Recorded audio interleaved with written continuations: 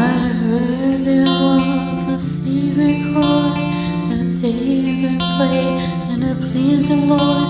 But you don't really care for music, do ya?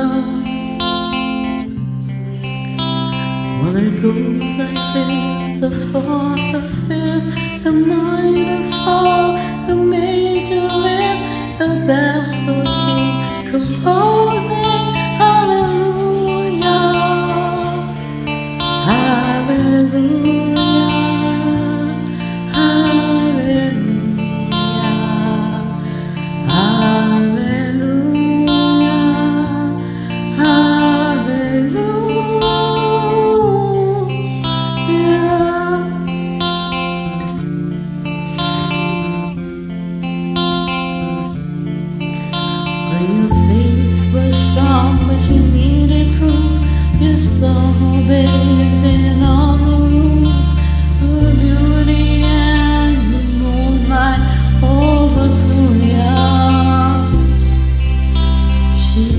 to the king.